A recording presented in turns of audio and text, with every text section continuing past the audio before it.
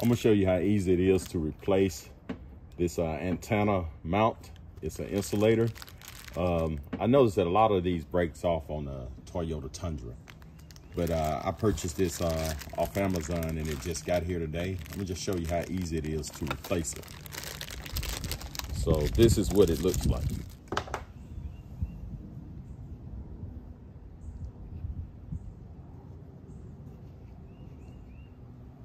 Okay, first, what you want to do, just go ahead and unscrew this.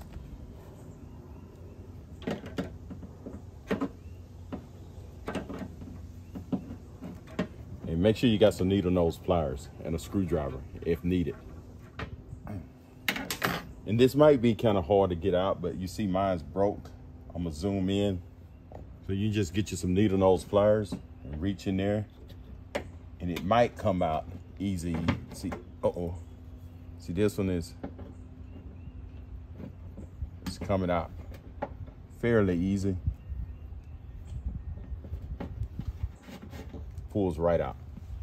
You see how that had broke off? And the only thing you want to do is get you some uh, Windex and spray on here to lubricate it. Spray this on. So you just want to lubricate this so it can slide on easily. Then you just slide this right over that and it goes in place.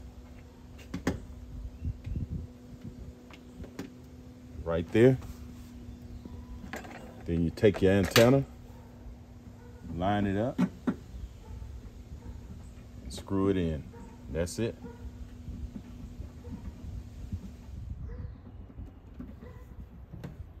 Just snug it down. That's it. That's how easy to put this on. It's nothing to it. Zoom in, give you a view of it. Just wipe it off clean. You see that?